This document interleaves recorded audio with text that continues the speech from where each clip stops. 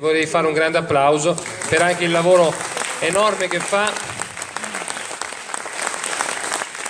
nel sopportare il sottoscritto, supportare il sottoscritto, eh, che è un lavoro immenso che poi vedete tutti i giorni riprodotto nelle nostre presentazioni quotidiane come popolo della famiglia. Massimiliano ha fatto un'ultima fatica letteraria che si chiama La cultura del matrimonio, lo trovate all'uscita, è l'ultimo lavoro che ha prodotto e che mh, sta girando un po' dappertutto a presentarlo abbiamo voluto dedicare questa intro dei lavori pomeridiani proprio a questo tema perché penso che, come abbiamo detto, vanno bene tutte le analisi sulla denatalità, vanno bene tutte le analisi sulla crisi della famiglia, eccetera, ma se non rinasce appunto, come è il titolo del libro di Massimiliano, una vera e propria cultura del matrimonio, sono tutti discorsi interessanti, ma poi non hanno una caduta nella realtà, non hanno una ricaduta nella vita quotidiana di ognuno di noi. Credo che questa riflessione che Massimiliano offre a tutti possa essere poi anche l'occasione per andare ad incontrare i più giovani soprattutto che possano avere dentro di loro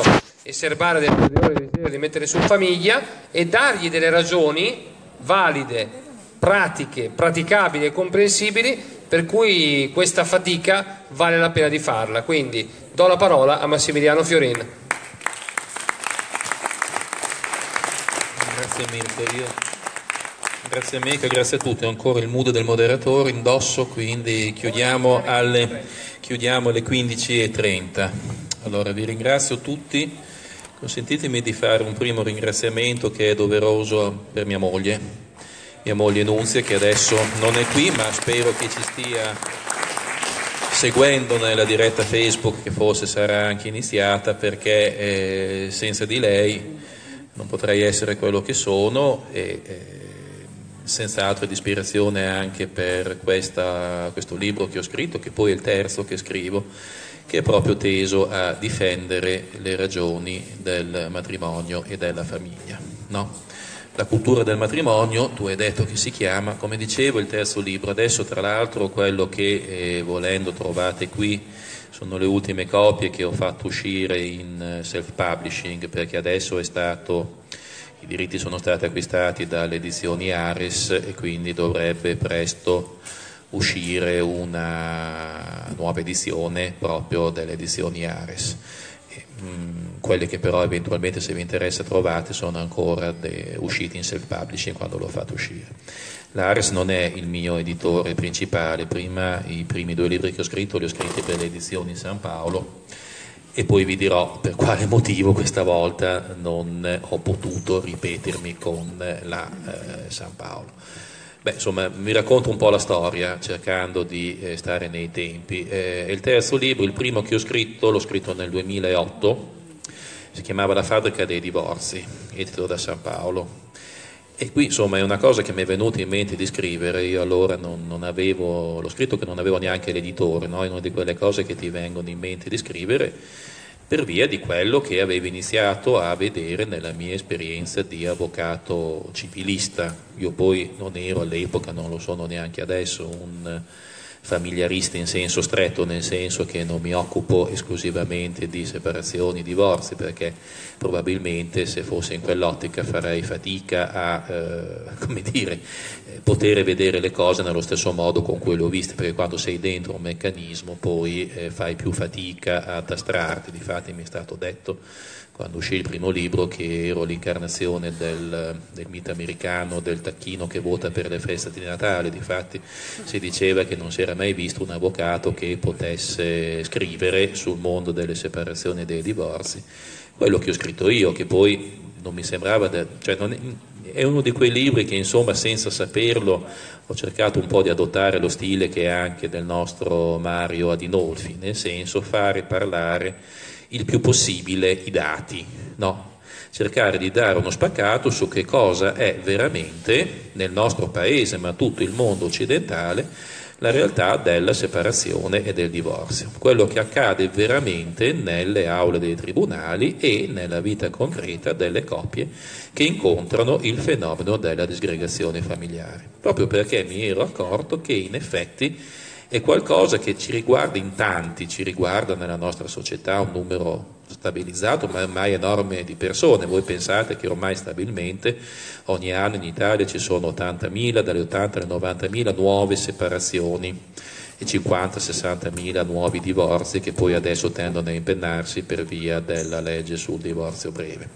Nel 60% dei casi sono coinvolti figli minori, anche perché eh, se non ci sono figli tendenzialmente è più difficile che si arrivi alla separazione o al divorzio proprio perché è anche più difficile che si arrivi al matrimonio. Poi questa è una tendenza, nel senso che le coppie senza figli tendono anche a sposarsi sempre di meno ed è questo stato il motivo che ha ispirato il secondo libro.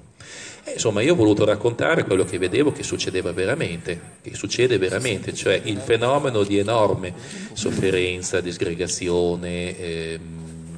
violenza. Voi pensate, io vi parlo ancora di quello che succedeva nel 2008, eh, però noi possiamo dire chiaramente che nel nostro paese, solo nel nostro paese, il fenomeno della separazione e del divorzio fa più morti di quanti non ne facciano le, le, grandi organizzazioni criminali di mafia, camorra, drangheta messe insieme, perché si parla di circa 120-130 morti come tributo di sangue all'anno derivanti proprio dalla eh, sofferenza dalla separazione o del divorzio, che poi adesso se ne parla, voi lo vedete rubricato come femminicidio, adesso nel 2008 non se ne parlava ancora come oggi, ma è un fenomeno che già lo vedevate sempre sulla, sulle cronache dei giornali. E, insomma, non è solo il femminicidio, perché poi molto spesso eh, non viene uccisa solo la partner femminile, sono omicidi, suicidi e spesso vengono coinvolti anche i figli. Sono delle esplosioni di violenza enormi che distruggono completamente un nucleo familiare Insomma, sono certo ovviamente i casi estremi, non sono la normalità, però eh, la violenza che si scatena in questi casi è effettivamente eh, molto forte e molto poco indagata, perché se ne parla pochissimo, quantomeno se ne parla pochissimo nei suoi esatti termini. Io ho cercato di scrivere un libro che proprio racconta dall'interno questa realtà, e cercando di far vedere quello che succede veramente. E, insomma, devo dire che eh, poi è stato pubblicato dalla San Paolo, ha avuto un certo seguito soprattutto nel mondo cattolico, diciamo, poi nel mondo, nel mondo forense, nel mondo degli avvocati, quello che avevo cercato principalmente di raggiungere, pur non scrivendo un libro pensato come, come testo giuridico, perché sennò sarebbe stato diverso lo stile, un libro che ho cercato di scrivere, come anche quest'ultimo della cultura del matrimonio insomma nel mondo giuridico ovviamente non ha avuto la stessa accoglienza eh, l'ho visto dalle, dalle, dalle, dalle, reazioni che ha avuto. Io mi ricorderò sempre che l'unica volta che l'ho potuto presentare ad avvocati nella mia città mi avevano messo a dibattere con una, con una collega la quale vedevo che se l'era preso ogni tanto citava una o due o tre frasi prese dal libro e diceva, sentite cosa dice, non ci posso credere. Poi ha detto anche che, ma io non ci posso credere. E poi sentite cosa ha scritto, io non ci posso credere. Tutto così, no? E lui ha detto, sì, vabbè, ma qua sono tutte cifre, dati, numeri, tu puoi contestare minimamente nel merito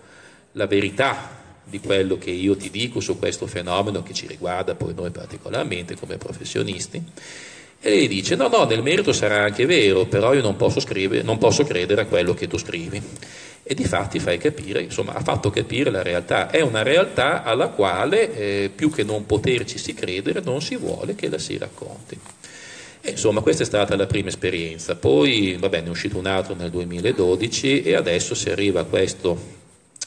cultura del matrimonio. Io l'ho chiamato così perché mh, nel passare degli anni ho capito che effettivamente il problema non è veramente il divorzio, no, il problema adesso è proprio il eh, matrimonio, perché è il matrimonio che è in crisi e c'è un'accelerazione di questa crisi che è palpabile anche dal punto di vista statistico che è iniziata nel, a partire dal 2000, a partire dall'inizio del nuovo secolo, non solo perché la gente divorzia sempre più spesso, ma anche perché ormai non si sposa più, il numero dei matrimoni è in calo verticale, non solo nel nostro paese, forse ancora più nel nostro paese che in altri paesi, in altri paesi d'Europa e nello stesso Nord America. E, eh, Senz'altro c'è una ragione in tutto questo, senz'altro non è qualcosa che avviene a caso, io penso di poterlo anche capire, perché il matrimonio per come è diventato, per come è percepito, per come è praticato per la generalità delle persone, senz'altro non, eh, non, eh, non è più attraente, non ha più senso, perché ha smesso di essere quello che eh, avrebbe sempre è sempre stato in tutte le civiltà umane, fin da quelle più antiche, e cioè un negozio giuridico che non riguarda soltanto privatisticamente i due sposi, ma riguarda l'insieme della società, riguarda gli sposi, riguarda i loro figli, ma riguarda la società tutta, perché il matrimonio è un eh, contratto, perché è essenzialmente un contratto, o un negozio giuridico per i tecnici, che non riguarda solo i due sposi, eh, riguarda tutti, è qualcosa che ci riguarda tutti ed è sempre stato così fin dalla notte dei tempi, perché è eh, l'alleanza naturale che è alla base della società e non garantisce soltanto la sicurezza affettiva degli sposi, ma garantisce, eh, garantisce la continuazione della società, garantisce sicurezza sociale, garantisce soddisfazione delle esigenze di vita fondamentali di tutti. Voi sapete che c'è un studio sociologico che effettivamente ci dice che in effetti se noi andiamo a fare un'indagine, eh, chiedere proprio cercando di ottenere risposte sincere alle persone, ma voi qual è l'ideale, il modello di vita che vorreste? Se poteste scegliere come vivere la vostra vita, oppure se siete persone già un po' avanti con gli anni, qual è l'ideale di vita che avreste voluto eh, praticare se aveste potuto scegliere la vostra vita secondo i vostri desideri. E la percentuale di quelli che dicono che loro avrebbero voluto o che vogliono per il loro futuro sposarsi, convivere sempre con la stessa donna, con lo stesso uomo e avere dei figli, è ampiamente maggioritaria. È ancora nel desiderio della grande maggioranza, percentuali secondo queste rilevazioni attorno al 90%. No? Allora, per quale motivo, se la gente veramente ancora desidera il matrimonio, poi non si sposa più? Eh, è quello che poi io ho cercato di dare una risposta per quanto potevo in questo saggio, in cui raccontando anche delle vere storie ho ehm, cercato di eh, capire che proprio il problema è della cultura del matrimonio. Perché ci ho dato questo titolo? E ce l'ho dato in contrapposizione a quello che si sente spesso dire nel mio mondo giuridico, no? eh, dicono bisogna costruire una cultura della separazione, no, perché poi gli operatori si rendono conto che in effetti, come, cioè, fin da quando ho iniziato a occuparmene, ho notato che il paradosso è che non si può parlare di questo fenomeno per quello che è, perché ufficialmente il divorzio e la separazione sono delle conquiste di civiltà sono considerate delle conquiste di libertà. La nostra società è considerata dal pensiero dominante come una società più avanzata, più civile, proprio perché ha dato non tanto la possibilità di separarsi, di divorziare, perché poi quella è sempre esistita, eh? cioè 5.000 anni fa come c'era il matrimonio c'era anche il divorzio, non è neanche tanto quello il problema. Il problema è vero che oggi dagli anni 70 in Italia e in tutto il mondo occidentale ciascuno degli sposi può divorziare solo volendolo, senza doversi premunire di giustificazioni, senza neanche trovare il consenso del partner. Perché anche se la legge non direbbe proprio così, è stata data la possibilità di separarsi e divorziare come diritto soggettivo incondizionato, come diciamo noi. Questo ha fatto esplodere il fenomeno, ha fatto sì che le persone si trovino travolte non appena iniziano le eh,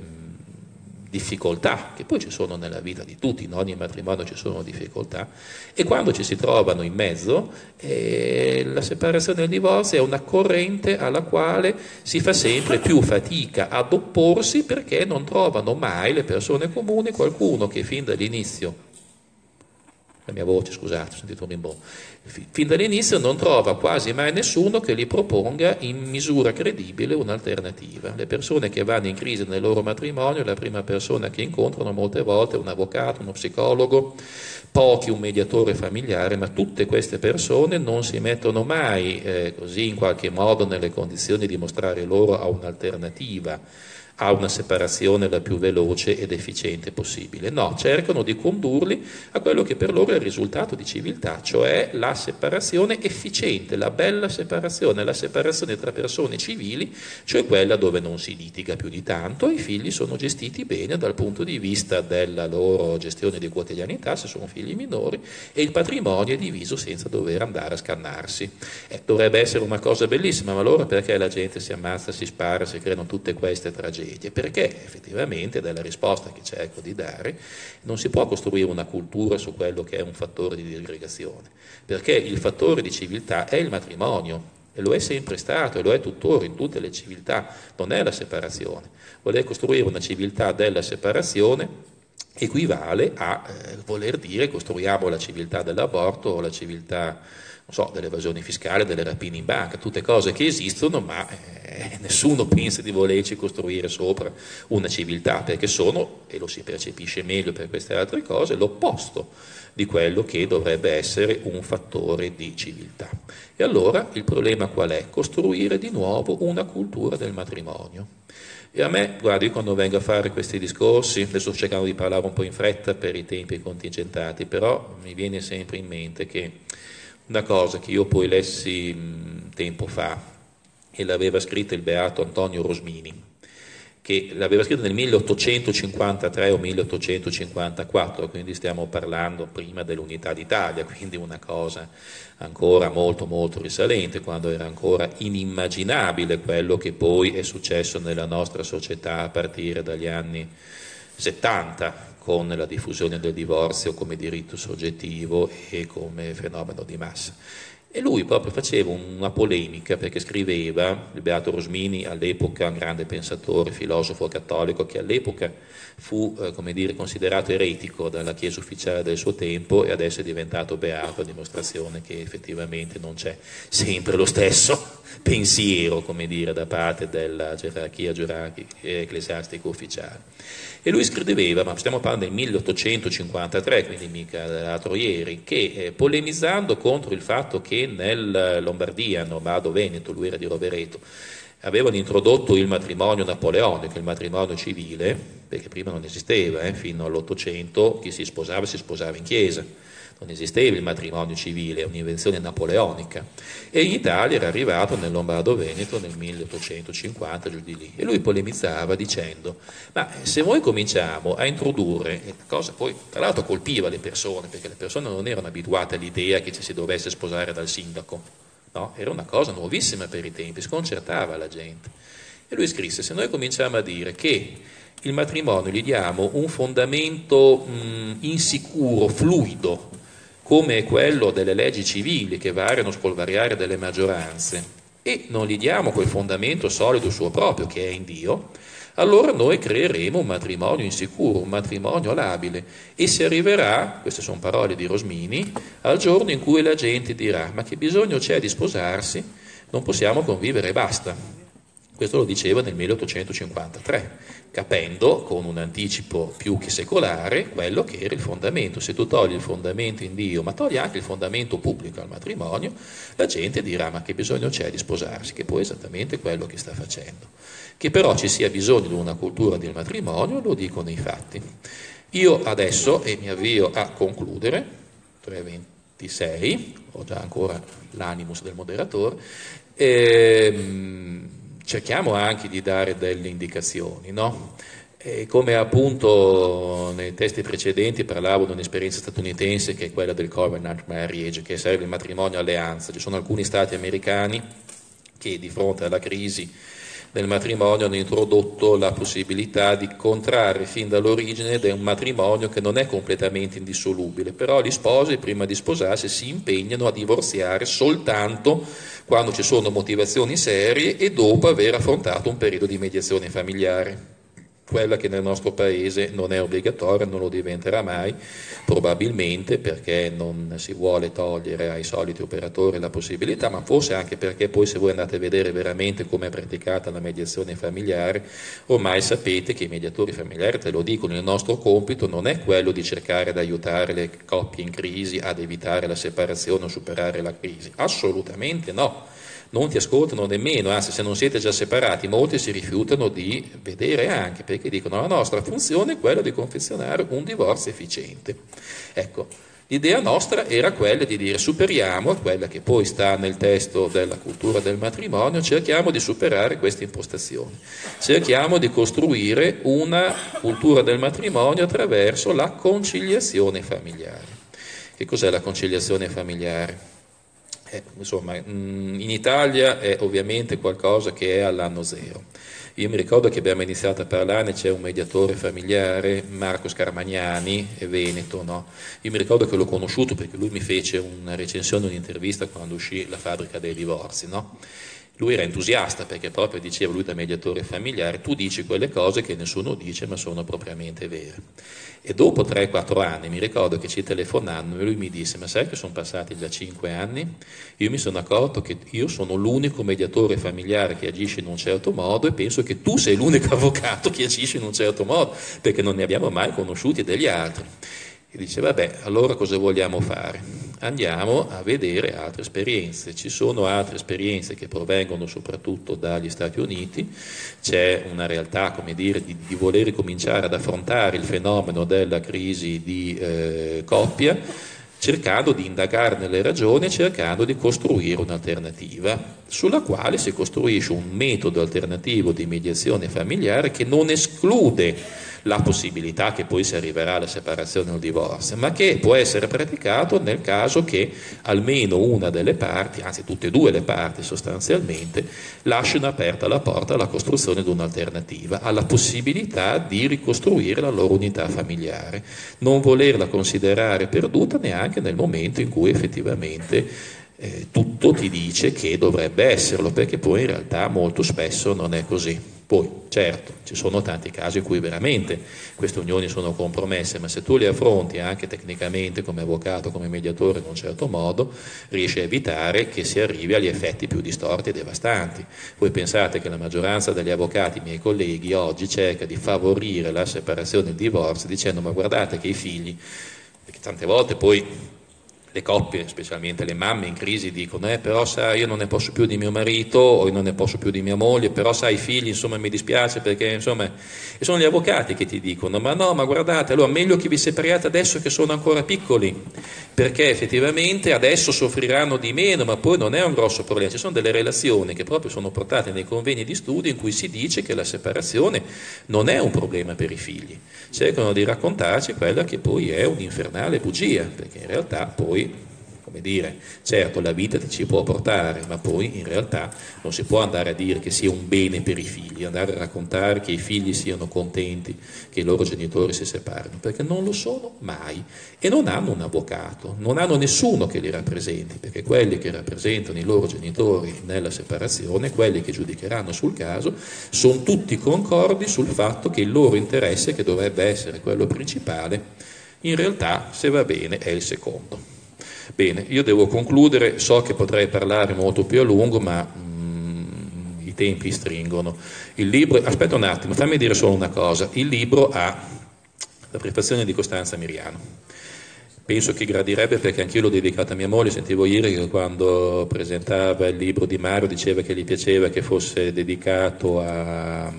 Silvia, sua moglie, anche il mio dedicato a mia moglie, forse per questo Costanza è stata contenta di farmi la presentazione, poi insomma anch'io ho cercato di parlare d'amore, se così possiamo dire, perché nel presentare alcuni casi concreti che si affidano alla conciliazione familiare, ho raccontato storie vere che in qualche modo forse insomma, non danno soltanto dire, il pessimismo, ma dicono che un'alternativa esiste e ci sono delle situazioni in cui veramente se ci si mostra un'alternativa alle persone si può evitare nell'interesse degli interessati, degli sposi, ma anche dei loro figli la separazione. Orbene, e concludo, eh, l'ho fatto uscire, ho mandato il mio libro al San Paolo Editore, come è l'editore degli altri miei libri, mi rispondono, eh, mi scrivono che non me lo pubblicano più, non, lo, non, lo, pubblichiamo più avvocato perché non ci piace quello che ha detto, perché secondo la San Paolo, non mica la Editori Uniti, perché insomma uno pensava che la San Paolo avesse detto. E poi finale, soprattutto, guardi, non, non siamo d'accordo a tutto lo spazio che lei dà alle idee di Costanza Miriano Questo poi la San Paolo, la San Paolo è mica sto parlando di, e gli dico, oh, Costanza le l'ho anche detto, eh, ma si vede che non sono molto popolare da quelle parti, il che non mi è sembrato neanche una grossa mossa commerciale. Comunque, tanto per farvi capire che effettivamente certe cose cominciano a essere difficili da dire anche nel nostro contesto, nel nostro mondo, e quindi ci fa capire ancora una volta di più per quale motivo c'è il popolo della famiglia. Ad ogni modo, adesso scusa se ti blocco l'applauso, ma finisco, quello che vedrete qui è il eh, self-publishing che ho fatto, visto che la San Paolo mi ha detto di no, ma adesso uscirà una nuova edizione, spero che conterranno il prezzo di copertina per la Ares che invece insomma, ha, eh, così, insomma mantiene dritta la barra. Bene, vi ringrazio.